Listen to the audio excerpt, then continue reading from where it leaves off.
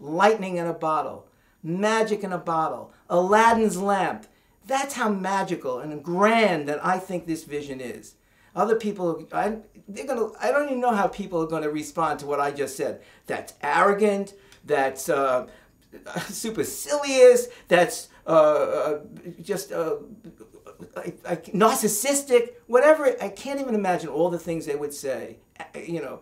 But to my thing, I'm, I've created this little invention. It took me all of my money and all of my time and every ounce of energy, every thought that I had was always about the deck. Oh yeah, look, there's a, yeah, but that could go on a deck. Like whatever happened, I saw it, it became, having lived with the deck, unlike you who were just being introduced to it, I began to see life through a deck lens.